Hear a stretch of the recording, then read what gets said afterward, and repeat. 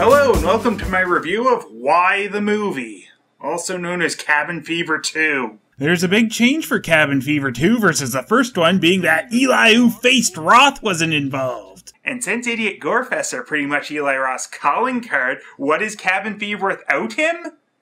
Nothing! There was nothing else to Cabin Fever than that. So Cabin Fever 2 is nothing! Review done? Oh, I seriously wish, but let's go over the stupid thing. So Friend Meets World wakes up in the river because instead of burning him like the rest of the bodies, Party Cop decided leaving him the river was the best idea since even he didn't plan on this much a needed sequel. So you're probably wondering why he's still alive.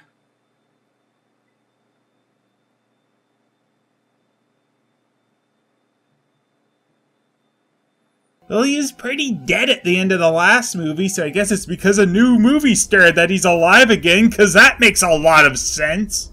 Uh, yeah. Well, maybe this will explain it. He gets hit by a bus and pops like a big blood balloon.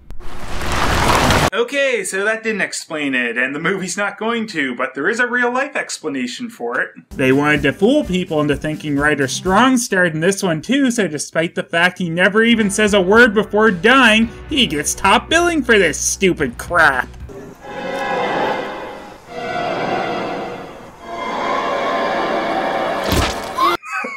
Oh, good! Party Cop is back! I don't know how to express how happy I am about that!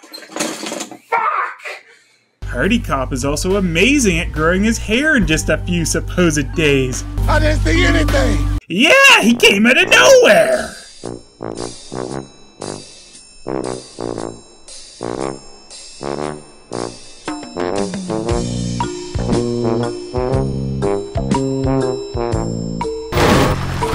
Hit a moose. Stupid, but at least he isn't saying, Partying with my cousin. Party! Party! Party! Party! Party! Laugh it off, man. This ain't shit. I hate Party Cop. I hate him. So, in case you forgot, there have been a ton of bodies in the water infecting it, which is also what they throw into the bottles and everyone drinks around here, they give us a really subtle animation showing the blood red water being shipped out in case we really didn't get it. It's not really red in live action, though. I guess that would have been too much. Andy Taylor's fucking ridiculous. Yeah, not my type. Does that mean you're gay? Did, did you tell your dad? Yes, they made the main characters jackasses again. I bet you were worried. I sure was. So, blah blah blah blah blah, high school melodrama bullshit, I don't care! There's no way that she's gonna go with me just days after breaking up with him. If she broke up with him, it's because she finally realized how big of a fucking douchebag the guy is. And here's the big bad axe! Don't say a word. Man, is he ever intimidating. Look, man. Get your hands off me. Seriously, the slightest touch may give me a serious bruise. So, John jumps into class. Oh wait, no, the bully threw me. Look, even the actor can't keep a straight face for this. Why would you go and do something so stupid? Like start a fight. I didn't start it. Mm-hmm. There's really no hope when a scene this pointless makes it to the final cut. So in biology, they are wearing goggles as they watch a film for some reason. Oh, they're also dissecting, so it makes sense. I don't know why you wouldn't want to try and use sharp knives and make accurate cuts in low light. Now, that's the heart of is the liver. Follow the same procedure. Oh, it was supposed to be funny. Then the plot starts. Alex rips down a banner and the janitor is pissed. You little shit. I wouldn't really call him little. I got dumped. Anybody that would do that to you is a fool. Really? So that equals blowjob in the bathroom, after which she's apparently done with him. You gonna go to prom together, or No. So he got used by getting his cock sucked?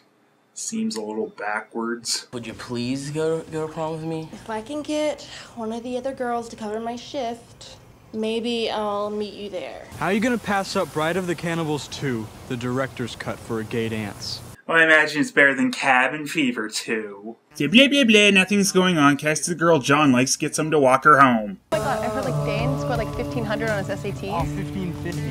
What? Yeah. No way, how old is that kid? Like 12. You should see when he and Alex get together. It's nuts.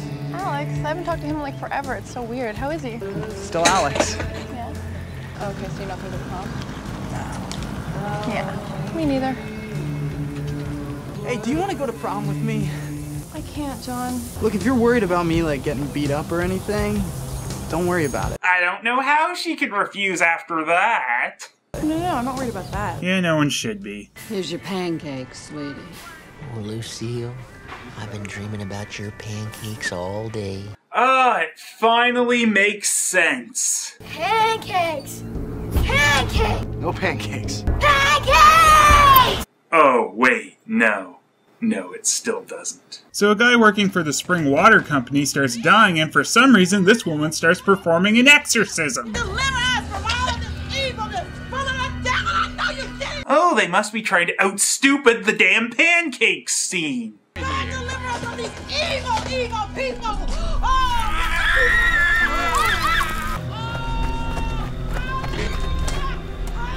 Shut up! It's not funny, it's just fucking stupid! Alex is infected, but he glues his fingernail back on, so it's cool. And then. No movie. I don't care how many Japanese flags you put behind them, I'm not buying it. So Party Cop goes and sees Frank from 30 Rock. She said she was 18. I always believe what children say. No, seriously, I don't think he realized or they told him he's doing something else. And these two are flirting with each other when. Ungrateful little shits. He'll never forget that banner and now blames the world for it. So he pisses in the punch until his dick bleeds. But the weirdest part is his blood piss was carbonated. So these two try to have pool sex, but she starts blooding it up, so. Uh, yeah, buddy, that'll work. This is it, motherfucker. Two men going to prom together. It's exactly as it should be. So Party Cop and Frank start to party until some more people come. You gotta tell these motherfuckers that the water coming out of here is bad news. Why do I gotta tell them? Well, because this happens. Water here is bullshit. He knew when the party was over. His party sense saved him again. I'm gonna go get some punch. Do you want some more? Nah, it tastes like someone pissed in it. I'm gonna lower my standards. Guess who? Cassie? It's me! Cassie! Ah! Hey, baby. hey, John. Oh, I'm so stupid that I thought you'd like that I came with Wimp Jock after you asked me, so the audience can obviously see what a great catch I am. Are you trying to be an asshole? I told you to stay away from her, but you couldn't leave well enough alone, could you? How dare we walk up to you and start talking to you? Movie, just hurry up and get to the dying. You can't handle anything else. We get it already. Oh, and the Surgeon Pancake Bunny is here too. What do you want? I'm just sorry. Oh, you're sorry. You're sorry for what? You're sorry that I get blamed for everything? You're sorry that your boyfriend's a fucking asshole? Or are you sorry that you're too stupid to tell the difference? Is that it? John! Fuck you! How you cannot like me, someone you've known for your entire life. Someone who would treat you like an absolute queen. Clearly. Stop. Get inside now. We aren't just shooting you right now because.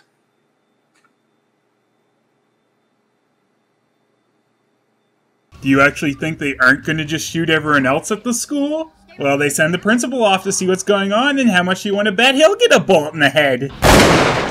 Sorry, the character just wasn't important enough. And that's the cue for the random infection to start affecting everyone! Oh, and for more nonsense, Cassie goes to the bathroom alone when. I had the baby.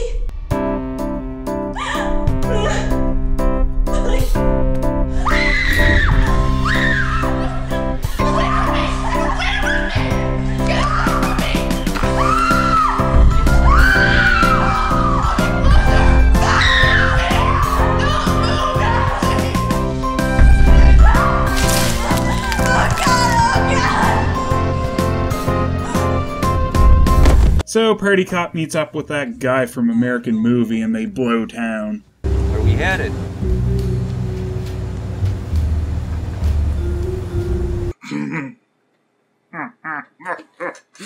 oh, it's bad when the movie knows he doesn't even have to say it anymore. My, my legs! I climbed out! I I made it! Please, please help me! Please!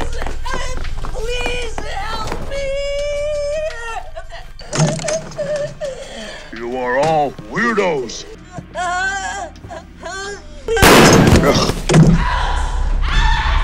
You know I can't leave him. You know that. Let's just go and get him then. I'm trying to be dramatic! Don't be irrational about it! Hey, hey, John, have you seen my dick? Anyway, Alex dies and John is infected, and who cares? Party Cop and American Cousin get through a barricade when he drops the people's elbow on Buddy, KOing him.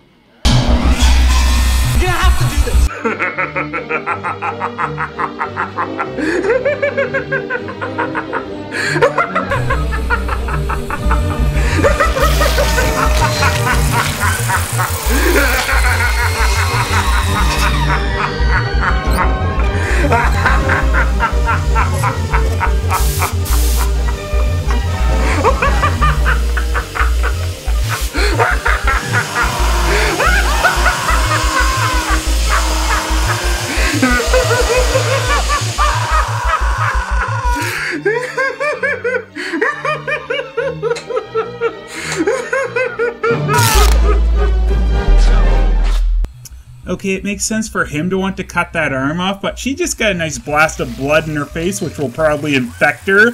Smart! So they have a really gross kiss when Big Bad Bully shows up again and starts sharing his feelings. What about my feelings? I fucking loved you! Oh no, John falls over and they swarm him. They didn't shoot him though, so they'll probably just throw him in the river. And Cassie runs into Party Cop, and since she's covered in blood, they obviously let her in. So, movie over, right? Nope. We need to see what happened to that girl who infected Alex's cock, right? Está bien joven, parece que tiene 16. No, no, she doesn't. So this goes on way too long, and she pukes on some guy, and goes back into an animation showing the infection spreading. Cabin Fever is a pretty damn stupid movie, but I get it. It's an idiot gore fest, but Cabin Fever 2? What the hell is the point? We get the extremely tired high school story that no one cares about, a follow up to a one note character we never needed a follow up to, and then in the last 20 minutes, people finally start dying. Cabin Fever 2 has no right to exist, and you know what? I'd rather not exist than watch this stupid bore fest again. And oh, would you look at that? I'm conveniently phasing out of existence. And you know what? I'm really good with that. I really am. I don't want to be in a universe where this movie was made. So, goodbye, and I'll see you guys on the next I don't like this movie. He doesn't look too friendly. So fake. My nerves are gonna break. Failures don't let me down. You need to be around. Grab that running one up and blast that single new one. At this movie, I look shitty. Eh?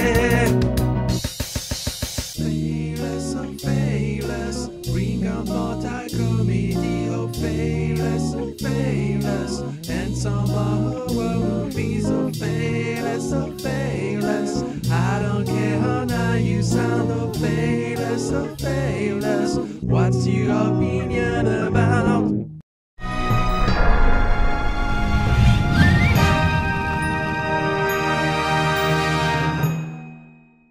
They say if they find the right director, Cabin Fever 3 will get the green light.